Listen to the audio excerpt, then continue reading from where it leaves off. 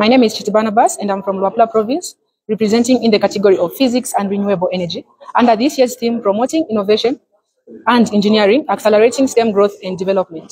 The title of my innovation is a solar pumped hydro storage system. This system, it is where we are trapping sun rays and then using it to pump water from a lower reservoir to a higher reservoir. Since the law of conservation states that energy can neither be created nor be destroyed, but it can be transformed from one form to the other. So we are using hydraulic energy, which is stored in the water.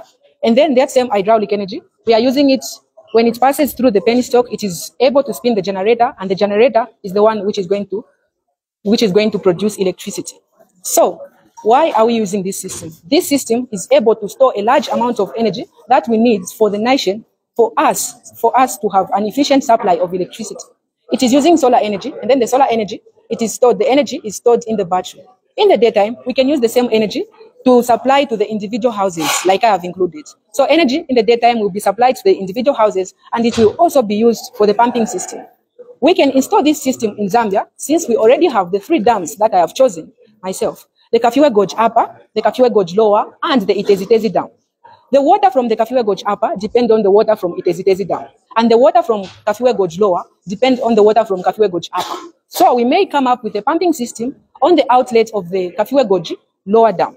So when we come up with that system, it will be supplied, the energy will be supplied by the solar. So the solar energy, the energy from the solar will be used for the pumping system on the Kafue Gorge Lower Dam, pumping water to the Kafue Gorge Upper Dam. And by so doing, we are both increasing the storage system of solar energy and we are also boosting up hydroelectric power station since the volume of water in the dam will increase. Now, on the setup, we have to make sure that the solar energy, the solar, are installed on the water, on top of the water, so that we reduce the loss of water by evaporation. But the question is, we cannot pump all the water back into the dam, upper dam. There are people who depend on the same water for irrigation and also for drinking, and also the animals which are nearby. So we have to let go some of the water so that it can go, it can continue flowing. By so doing, we are more like sustainability. We are promoting sustainability and the sustainable of our environment, the sustainability of the environment. So this project is carbon emission free.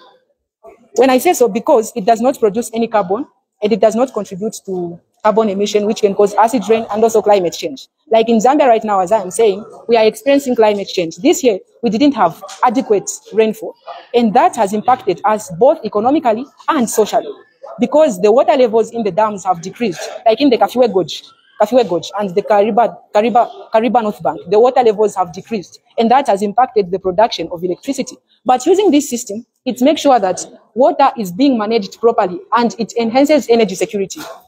The way it enhances energy security, it is because it increases the volume of water in the upper dam. And then that same volume of water will be used to produce the adequate and the right amount of electricity that we, knew, we want to use as a country. Because in Zambia, a lot of machines use elect electricity for them to run. And also the mines that we have in Copperbelt and other provinces, they depend on the same electricity. So if we won't have adequate supply of electricity, then our economic value is going to decrease because we also depend on export of copper and other minerals. So this project is also important because it offers job creation. Because there are people who will work during the construction and also for the maintenance of this project.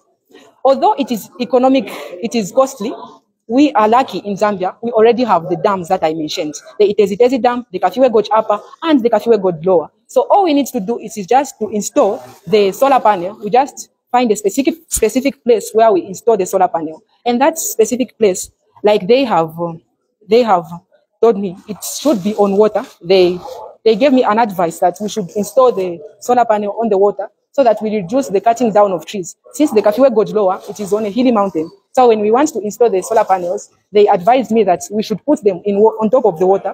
By so doing, it is more like environmental sustainability and also reducing the rate of the loss of water by evaporation. So this is a brief explanation on my project. Thank you.